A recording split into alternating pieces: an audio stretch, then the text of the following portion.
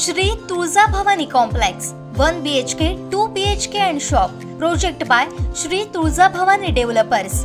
Gavandiwada opposite Asha park near Bharad Naka Malvan Sindhudurg. आपल्या स्वप्नातील घर प्रत्यक्षात. Contact details for booking Kolam Sarjekot या दोन गावांसाठी असलेली स्मशानभूमी पावसात नादुरुस्त झाली आहे. मात्र अद्याप शासनाकडून या शेडची दुरुस्ती केली गेली नाही. शासनाला निधी मिळत नसेल तर आम्ही लोकवर्गणी काढून स्मशानभूमी उभारू असा इशारा कोळमगावचे अध्यक्ष संदीप शेलटकर उपसरपंच विजय नेमळेकर यांनी दिलाय.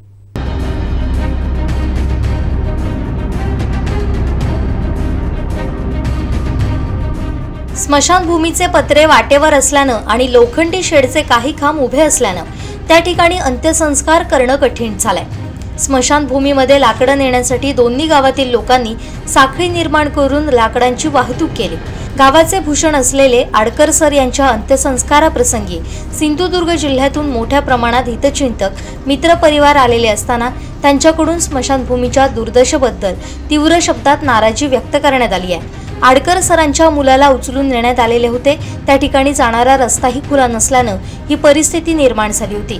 दोन्ही गावच्या ग्रामस्थांनीही आता स्मशान शेडसाठी प्रत्येक घरात फिरून मदत उभी करण्याचा निर्णय घेण्याची वेळ आली आहे. असं शेलटकर म्हणाले. तसेच सरपंच सियाधुरी यांच्यावरही टीका करण्यात आली आहे. चंद्रपूरचे ग्रामस्थ आमचे कोळमचे ग्रामस्थ साडेआठ वाजता आम्ही पंचायती केली. चंद्रपूरचे ग्रामस्थ कोळम ग्रामस्थ आम्ही अकरा वाजता तहसीलदार मॅडमची भेट घेतली.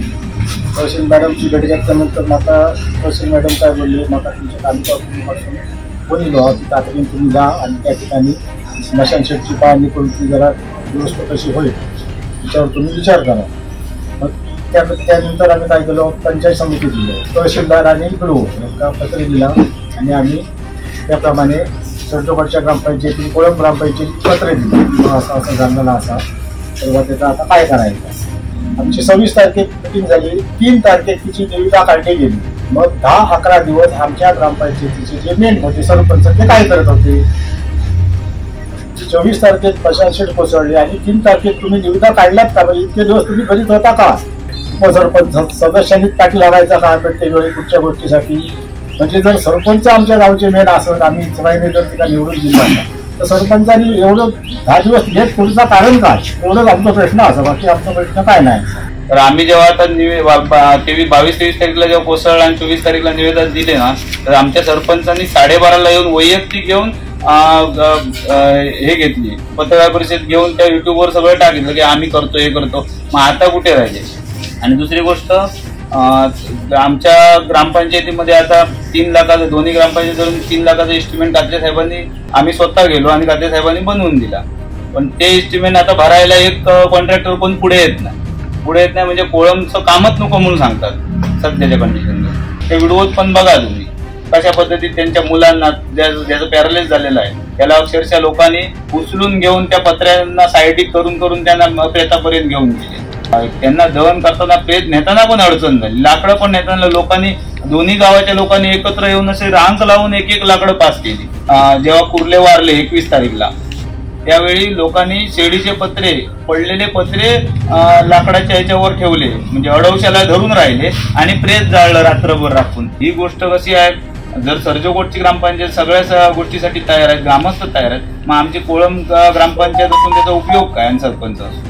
बाकी सर्व सर्व सरपंच उपसरपंच आणि सदस्य सगळे सगळ्या गोष्टी जरी तयार आता नाही जर यांचं हे असं झालं तर आम्ही दोन्ही गावात घरोघरी फिरून ती वर्गणी जमा करणार. हा आमचा शेवटचा स्टँड आहे. आणि आता लोक स्वतः आता स्वतःहून कामाला लागतील आता.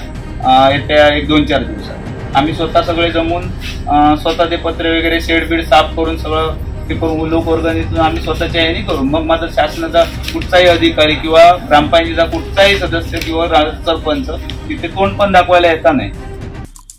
आमचे दिवसभरातले सर्व अपडेट्स ताज्या घडामोडी आणि थेट लाईव्ह पाहण्यासाठी सबस्क्राईब करा लाईक करा. कोकणचं नंबर वन महा चॅनल कोकण सात लाईनचं युट्यूब चॅनल